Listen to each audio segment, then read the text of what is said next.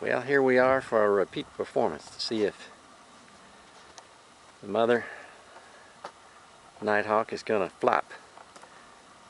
She flopped like an NBA basketball star yesterday. She's letting us walk close. I'm within about 10 feet. There she goes. No, no flopping today.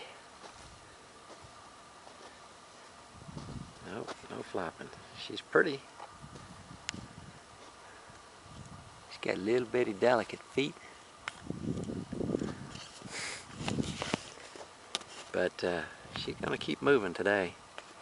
She is going directly away from her nest. so we'll leave her alone here and let her get back to the to the one chick on the nest and the other egg, which still hadn't hatched.